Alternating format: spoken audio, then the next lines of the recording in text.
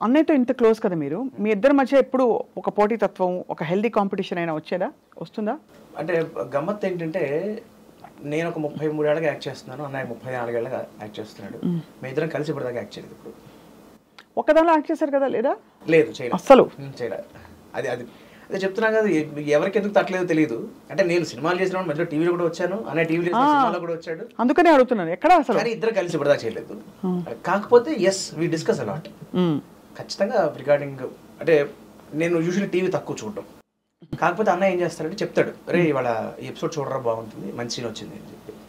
అలాగే నావేమైనా ఉన్నప్పుడు ఏదైనా షోకి వెళ్ళినప్పుడు ఏమైనా చేసినప్పుడు అన్నయ్య చూడరా ఒకసారి ఎలా ఉంది? చెప్పు అని చెప్పి. వీ కీప్ డిస్కసింగ్ బాగుంది ఇది బాగాలేదు ఇది చిరంజీవి గారు ఎందుకు చేసావు నువ్వు? అంటే ఆయన ఇన్ఫ్లుయెన్స్ కొంచెం ఉంటుంది. అవును.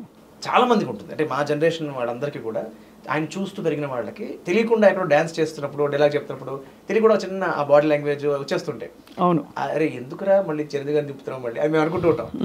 అలాగే భావన నిర్మమాటగా చెప్పుకుంటాం. That's always there so that bonding is always continuing కదా? అన్నయ్య ఇంత మేజర్ రోల్ ప్లే చేశారు మీ లైఫ్లో. అన్నయ్య ఒక ఇంటర్వ్యూలో చెప్పగానే అఫ్ కోర్స్ నాకు కౌశిక్ బాగా అంటే more than anything is like మా ఇంట్లో పిల్లాడిలాగా ఆల్మోస్ట్ ఇది ఇంకా.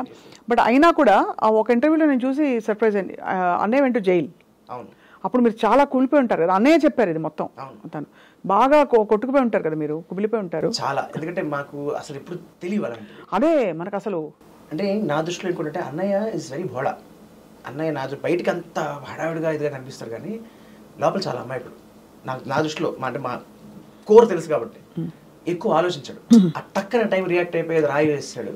సో కొన్ని కొన్ని ఒక స్పర్ ఆఫ్ మూమెంట్లో కూడా చేసి చిన్న చిన్న మిస్టేక్స్ అంత దారి అఫ్కోర్స్ భగవంతుడు పెద్దమే ఆ, ద- ఇదేం కంప్లీట్ ఎక్కువ అవ్వలేదు కానీ బట్ అలా వెళ్ళాడు అన్నది కూడా మాకు పెద్ద షాకే నేను వెళ్ళి అన్నయ్య బయటికి రాగానే నేను మీడియా గిరి ఎవ్వరు లేకుండా చూసి కావాలని సీక్రెట్గా వేరే కార్ వేసుకుని ఇంకో ఫ్రెండ్స్తో ఒక కార్ తెప్పించుకుని కావాలని డైవర్ట్ చేసి బయటకు వచ్చాను. I don't want him to get exposed కానీ చాలా it is a very difficult moment for a bright middle class family who has no clue about this kind of అసలు థింగ్ కదా? అది కూడా ఏంటి? సి ఇంటెన్షన్ రావాలి ఇంటెన్షన్ ఏంటి అనేది ఎవరికి అనవసరం. ఇప్పుడు హీస్ ఫైటింగ్ ఫర్ కాజ్ ఏంటి? డబ్బింగ్ ఎక్కువ అయిపోతే కనుక మన ఒరిజినల్ టాలెంట్కి మనకు అవకాశాలు తగ్గిపోతాయి అనేది. అవును అదే కదా. ఇంటెన్షన్ మంచిది కానీ ఎక్స్ప్రెషన్ రాయి వేయడం తప్పే కదా. సో తప్పు అన్న దాని గురించి డిబేట్ చేయకూడదు. మా అన్నయ్య చేసింది కరెక్టే రాయి వేసిన వేసిన పర్వాలేదు. అని అని అతను అనకూడదు నేను అనకూడదు. ఏదేమైనా అంటే అవన్నీ మర్చిపోయి ఇప్పుడు అంద- అందులోంచి బయటకు వచ్చేసి చాలా హ్యాపీగా అన్నీ సెటిల్ అయిపోయాయి. బట్ ఆ టైంలో ఐ వాస్ వండరింగ్ ఇప్పుడు ఎంత ఇన్సెక్యూర్గా ఉంటుంది లోపల చిన్న తమ్ముడికి? నాకు అమ్మకి అమ్మయ్యో అమ్మ చాలా కానీ మా ఇంట్లో ఒక స్థితప్రజ్ఞత అనే దానికి డెఫినేషన్ మా నాన్నగారు. I have seen him in కొండంత అండ. డిఫరెంట్ సిచ్యువేషన్స్ అంటే కొన్ని కొన్ని సందర్భాల్లో నేనే ఆయన పొజిషన్లో ఉంటే నేను కదలకుండా ఉండగలుగుతానా అని నాకు నేను క్వశ్చన్ చేసుకుంటూ ఉంటాను. చాలా సంద- సందర్భాల్లో అంటే అంటే నేను మా నాన్నగారి చెప్తున్నాను కాబట్టి పొగుడుతున్నానని చెప్పట్లేదు కానీ సమ్ క్వాలిటీస్ రాముడిలో కొన్ని లక్షణాలు ఉంటాయి. ఏంటి అంటే అక్కర్లేని వాటికి ఆయన కదలడు. ఆయన దీన్ని కదలక్కర్లేదు అన్న దాన్ని కదిలిపోడు. ఇప్పుడు తెల్లారితే రాజ్యం. రాత్రి రాత్రి వచ్చి తండ్రి వచ్చి పట్టాభిషేకం గురించి చెప్పాడు. తెల్లారితే మళ్ళీ పిలిచి నీకు రాజ్యం లేదు అన్నాడు. ఆయనే కదల కదిలిపోలా. చెప్పిన తండ్రి కదిలిపోయాడు. మిగతా రాజుల ప్రజలు కదిలిపోయారు. ఆయన కదిలిపోలా. సో ఆయన ఏమనుకున్నాడు? ఒకటే నా కోటి మా తమ్ముడు కోటి ఉంటే నా రాజ్యం ఒకటి అని. నా అంతీసగా తీసుకోగలిగాడు. అంటే దే ప్రతి విషయంలోనూ ఒక పాజిటివ్ సైడ్ ఉంటుంది. అవును. అది ఆలోచించగలిగితే నెగిటివ్ వైపు మనం ఎక్కువ వెళ్ళాం. కరెక్ట్. అన్న అంశాన్ని నేను మా నాన్నగారి దగ్గర చాలా చూశాను. చాలా నేర్చుకున్నాను. అందుకనే అంటే నాలో కాస్త కూస్త మంచిగా కనిపిస్తున్నాయంటే ఇట్స్ రిఫ్లెక్షన్ ఆఫ్ దేర్స్ చాలా ఐ మీన్ చాలా very very beautiful family Aditya మీరు నిజంగా నేను చూశాను. మీ పెళ్ళెలా అయింది నాది పదో పెళ్ళి చూపులు ఓకే పెళ్ళింది.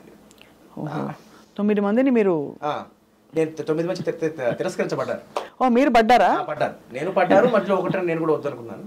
ఆ ఒకటి రెండు కూడా ఎందుకంటే మరీ ఏజ్ గ్యాప్ ఎక్కువ ఉందన్న కారణం ఒకటి లేకపోతే సినిమా వాడు కదా అనే ఉత్సాహం చూపించిన వాళ్ళ దగ్గర ఒకటి.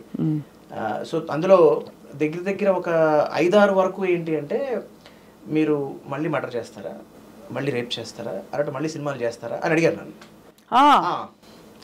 మళ్ళీ సినిమాలా? అంటే నేను నేను ఏం తప్పు చేశాను సినిమాలు చేశాను సినిమాలు చేసి చాలా నేర్చుకున్నాను.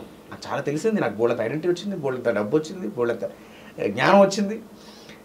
బట్ ఐ డోంట్ నేను చెప్పాక నాకు సినిమాలు అంటే చాలా ఇష్టం. నాకు ఆ- వ్యవస్థ అంటే చాలా ఇష్టం. అలాంటి దాన్ని నాకు తప్పు పడితే నేను పెద్ద దాన్ని నేను ఆ రిలయన్స్ని వదులుకుని అంబానీ గారినే నో అని చెప్పేసి వచ్చేసిన వ్యక్తి మీరు. అంబానీ గారు అదే అంటే అదేలే. ఆ డ్రామాటిక్ ఎఫెక్ట్ కోసం చెప్తావు అబ్బా మనం. అయితే ఆశ్చర్యం ఏంటంటే నాకు దొరికిన మావిడ కూడా ఆ టైపే దొరికింది. ఎందుకంటే పదో పెళ్ళి చూపులు. ఆ, అయితే తను యూజువల్ నాకు అలవాటు అయిపోయింది. ఇప్పుడు నేను పెళ్ళి చూపు పెళ్ళి ముందర ఫోన్లో మాట్లాడుకుంటాగా నా ఆ మాటలు ఈ మాటలు అయిపోయాక నేను అడిగాను ఏమంటే ఒక సినిమా యాక్టర్ని చేసుకుందాం అనుకుంటున్నాను మరి మీకేమీ ఇబ్బంది లేదా? వాళ్ళకి అసలు సినిమా సంబంధం లేదు. మా అత్తగారు మామగారు కానీ మా వైఫ్ కానీ ఎవరు? జీరో వైజాగ్ అంటే తను అప్పటికి ఉద్యోగం చేస్తుంది యాక్షన్ యాక్షన్ వర్క్ చేస్తుంది. అంటే ఎందుకండి? అంటే భయం అంటే ఏమిటి మీ ఉద్దేశంలో?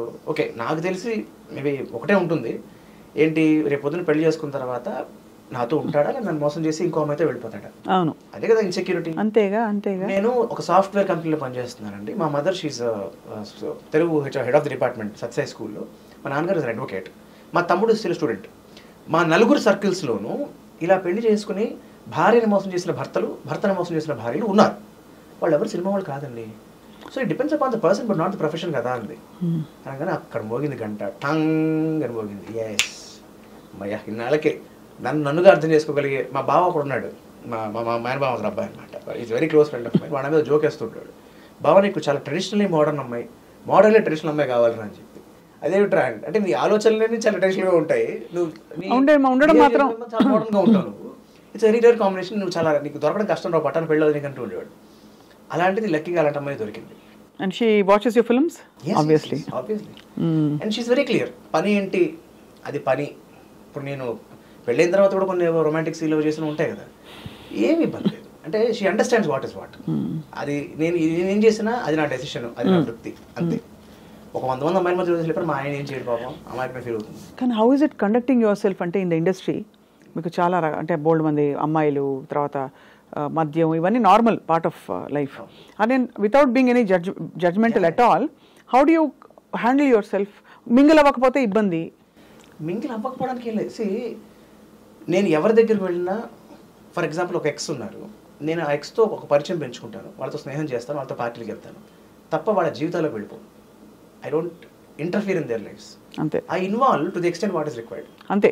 అంతే. తామరకు నీటిబుట్లాగా వెళ్తాను ఉంటాను టైం స్పెండ్ చేస్తాను అది ఒక పార్టీ అవ్వచ్చు లేకపోతే ఫంక్షన్ అవ్వచ్చు లేకపోతే మీటింగ్ అవ్వచ్చు వాట్ ఎవర్ ఇట్ ఇస్ ఎంతవరకు అంతవరకే I have my own boundaries అవి దాటనంత వరకు సమస్యలు రావని నా అభిప్రాయం. వస్తే గట్టిపడతాను ఏముంది? అంతేగా? అంతేగా. అమ్మ చాలా అద్భుతంగా పాడతారు. అమ్మకి పాట అంటే చాలా ఇష్టం. మీకు కవిత్వం ఎలా వచ్చింది? కౌశిక్ ఎలా రాలేదు? లేదు లేదు. లైక్ వాడికి ఉంది కాకపోతే వాడు ఎక్కువ దాని మీద ఫోకస్ చేయలే. ఈ వాజ్ వెరీ బిజీ టీవీలో చాలా ఎక్కువ బిజీ అయిపోయింది. నాకేంటంటే ఈ అప్స్ అండ్ డౌన్స్ దానివల్ల నాకు చాలా మధ్య చాలా ఖాళీలు దొరుకుతుండేవి సో నా కవిత్వం రావడానికి కారణం కూడా సినిమానే ఒక రకంగా చెప్పాలంటే. ఒక ఇంకొక మెయిన్ కారణం మా తాతగారు మా అమ్మగారు వాళ్ళ నాన్నగారు. ఆయన కవి. బారిష్ట భారతదేశం మీకు ఐడియా ఉండే ఉంటుంది. మన స్కూల్లో రాంటేలు అది రాసింది మా తాతగారు వాళ్ళ అన్నయ్య గారు Hmm. ఆయన మొక్కపాటి నరసింహశాస్త్రి గారు ఆయన పేరు. సో ఆయన తమ్ముడు మా తాతగారు మొక్కపాటి నరసింహమూర్తి గారు మా అమ్మగారు వాళ్ళ నాన్నగారు. ఆయన కవిత్వం రాసేవారు. సో ఆయనతో నేను స్పెండ్ చేసినప్పుడల్లా ఒకటి రెండు సినిమా డైలాగులు నేర్చుకోవడం కోసం సినిమాలో భాష కరెక్ట్గా ఉండాలి. నేను చెప్పే మాడ్యులేషను నేను చెప్పే ఉచ్చారణ పదాలు ఇవన్నీ నేను జీవితంలో ఏ పుస్తకం చదవలేదు. నేను చదివిన పుస్తకాలన్నీ సినిమా స్క్రిప్ట్లే. సో వాటి వల్ల నాకు పాటలు బాగా ఇష్టంగా ఉండేది ప్లస్ నాన్న ఏం చేసేవారంటే మేము మెడ్రాస్లో ఉండేవాళ్ళం కదా తెలుగు సినిమాలో యాక్ట్ చేస్తున్నాను తెలుగు భాష స్పష్టంగా రావాలి అని చెప్పి పనిగట్టుకున్న పాత సినిమాలు ఎక్కువ చూపిస్తుంటాను. దానివల్ల నాకు పాత సినిమాల మీద చాలా మక్కువ పెరిగింది. పాట పాత సినిమా పాటల మీద పెరిగింది. తెలియకుండా అమ్మలో ఉండే సంగీతం తాతగారిలో ఉండే కవిత్వం నాకు ఇష్టమైన ఈ రెండు కాంబినేషన్ వల్ల చిన్నప్పుడు దాన్ని ఏమంటారు పిచ్చి కవిత్వాలు పిచ్చి పాటలు పాడుతూ ప్యారడీ పాటలు పాడుతుంటాను కాకపోతే ఉదాహరణకి? డబ్ల్యూడబ్ల్యూఎఫ్ కార్డ్స్ ఐడియా ఉంది మీకు. చిన్నప్పుడు ఆడుకునేవాళ్ళం కదా. కిష్కింద కన్నారు సినిమా వచ్చింది. తెలుసుగా? కోకెత్తుకెళ్తే ఏం సరదా? కవ్వింతలేలా కరివరదా? కోరిక ఉంటే నేరుగా నన్నే కౌగిళ్ళలోకే కొనిపోరా. కృష్ణ! ఈ కృష్ణ మీద పాట. నేను డబ్ల్యూడబ్ల్యూఎఫ్ కార్డ్స్ ఎంత ఆడేవాడు? నా లైఫ్లో అంటే ఏం చేసినా ఎక్స్ట్రీమే. ఒకటి మొదలెడితే దాని అంతా చూసే బయటికి రావాలి. ఎలా ఆడేవాడిని అంటే ఇప్పుడు ఒక సెట్ ఉంది అనుకోండి మన దాంట్లో కార్డ్స్ అన్నాం అనుకోండి దాంట్లో ఫర్ ఎగ్జాంపుల్ ఇప్పుడు నేను హైట్ అని చెప్తాను. నాకు వచ్చిన కార్డులో హైట్ మీకన్నా హైట్ కన్నా ఎక్కువ ఉంటే నాకు వచ్చినట్టు అలా కార్డు వెనకాల ఉన్న నలుగుని బట్టి ఇక్కడ నలిగిందంటే వీడు ఖచ్చితంగా అండర్టేకర్ అయి ఉంటాడు. ఇక్కడ నలిగిందంటే వాడు అక్కడ వంగిందంటే వాడు యువకోజన్ అయి ఉంటాడు అని చెప్పి అలా ఏడు సెట్లు మార్చాను నేను. అంటే నాకు తెలియకూడదు. ఆట ఆడేటప్పుడు జెన్యున్గా ఆడాలి. ఇక మీ దగ్గర ఉన్న కార్డు నాకు తెలిసిపోతే కిక్కే ఉంది అన్న స్థాయిలో ఆడేవాడిని. అలా ఆడుతున్న ఎంత ఎక్కేసిన పిచ్చి అంటే నాకు ఫస్ట్ టైం ఒక ప్యారడీ పాటతో స్టార్ట్ చేశాను. నా జీవితంలో రాయడం పాటలు రాయడం నేను. డబ్ల్యూడబ్ల్యూఎఫ్ ఉంటే ఏం సరదా? డబ్ల్యూడబ్ల్యూఎఫ్ కరి వరదా కోరిక ఉంది నేరుగా నన్ను. డబ్ల్యూడబ్ల్యూఎఫ్ లోకే కొని పోరా. అబ్బో. పలుకు హోగను. Undertaker match man Bret Hart hitman. ఇది ఇదొక దాని ఏమంటారు? ఇది నేను ఎప్పుడు రాశానంటే నాకు తొమ్మిదేళ్ళు ఎంతో. కానీ మా అమ్మ ఏం చేసిందంటే బా ఎంత బాగా రాశారా అంది. ఇప్పుడు నాకేంటి? ఓ అంటే బాగా రాశానా? ఇలాగా తెలియకుండా ఒక ట్రాష్లోంచి ఒక చెత్త దాంట్లోంచి ఒక తప్పుడు దీంట్లోంచి ప్లస్ ఇంకొక అలవాటు ఏమి ఉండేదంటే అమ్మ పాటలు విని నన్ను లిరిక్స్ అడుగుతుండేది. ఆ క్రమంలో కొన్ని మర్చిపోయినప్పుడు ఏం చేసి ఆ పదాలు ఓన్ పదాలు పెట్టేస్తుండేవాడిని. అమ్మ అది మెచ్చుకునేది.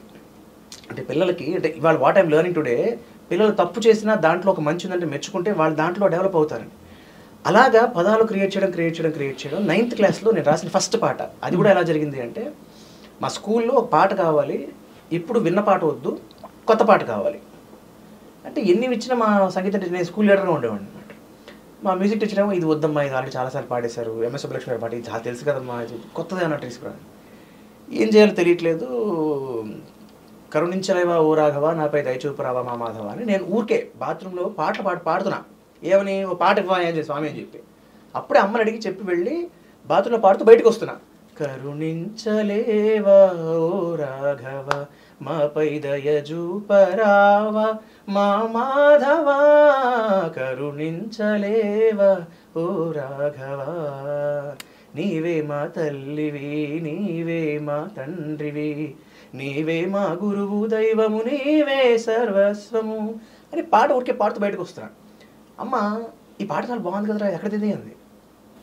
ఓహో ఇది మనం రాసిన పాట ఇంకా తెలియదు అమ్మకి. అని చెప్పి పని కట్టుకుని ఫినిష్ చేసి ఆ పాట స్కూల్లో వినిపిస్తే స్కూల్లో వెయ్యి మందిని పాడించారు. సో నా పాట ఒక వెయ్యి మంది చప్పట్లు కొట్టారంటే అదొక ఎంకరేజ్మెంట్ అవును. సో అలాగా సినిమాల తాలూకు ఆ ప్రభావం అమ్మ వాళ్ళ అండ్ ఇప్పటికీ కూడా నేను ఇప్పటికీ ప్రైవేట్గా నాకు నేను ఒక రెండు వందల డెబ్బై పాటలు రాసుకున్నాను. ప్రతి పాట ఇప్పుడు రాసినా సరే ఫస్ట్ అమ్మకి ఫోన్ చేసి చెప్తా అమ్మ ఇగో బయట ఉంటే కనుక అమ్మ ఇది ఎలా ఉంది చెప్పు అని చెప్పి. సో అలాగా అమ్మతో అటాచ్మెంట్ ఆ పాటతో అలా కంటిన్యూ అవుతూ వస్తుంది. ఎంత బ్యూటిఫుల్గా ఉంది. సో అలా కవిత్వాన్ని మీరు అంటే ఇప్పుడు ప్రొఫెషనల్ స్థాయికి తీసుకెళ్తున్నారా? ఎస్ అంటే నేను చాలా సందర్భాల్లో ఈవెంట్స్లో అవును చూశాను గారి మీద సావిత్రి గారి మీద మన సంజయ్ గారి దాంట్లో కూడా. అవును, చాలా. చెప్పమంటే చెప్తాను. అయ్యో చెప్పండి తప్పకుండా. నాకు ఇష్టమైన ఆర్టిస్టులు ఎస్వి రంగారావు గారు సావిత్రి గారు వీళ్ళందరూ. అలాగే సుశీల్ మీద కూడా రాశారు కవిత్వం ఒకటి. ఉదాహరణకు ఒకటి మర్చిపోయి చెప్పాలంటే రంగారావు గారు చెప్పండి సావిత్రి గారు చెప్పండి. మీకు సుశీల్ గారిది. సుశీల్ గారి సింగర్ కదా మీరు. విశాలమైన ఈ సినీ గీతాల జగత్తులో విశాలమైన ఈ సినీ గీతాల జగత్తులో సుశీల గారితో ప్రత్యేక స్థానం అది మరపురాని గానం. ఆ కంఠం వినగా వైకుంఠమే కనవచ్చు ఆ స్వరం కొరకై స్వర్గవాసులే దిగివచ్చు. పాత పాటకి పసిడి పూత ఆమె స్వర మాధుర్యం. పాట పాటకి నవీనత ఆమె గల చాతుర్యం. చిటపట చినుకుల పలుకులు విన్నా నీవని నేనని ఈవిడ అన్నా అతి మధురం ప్రతిగీతం మన మదికే నవనీతం. జననీ శివకామిని అంటూ స్తుతించి ఆ దేవిని జననీ శివకామిని అంటూ స్తుతించి ఆ దేవిని జనులందరి జేజేలొందెను స్తుతిమెత్తని గాయని. సఖియా వివరించవే అన్న హిమగిరి సొగసులనే కన్నా నీవులేక వీణను విన్న గోదారి గట్టుందన్న ఆ గాత్రం తనకే సొంతం తను మాత్రం మనందరి సొంతం.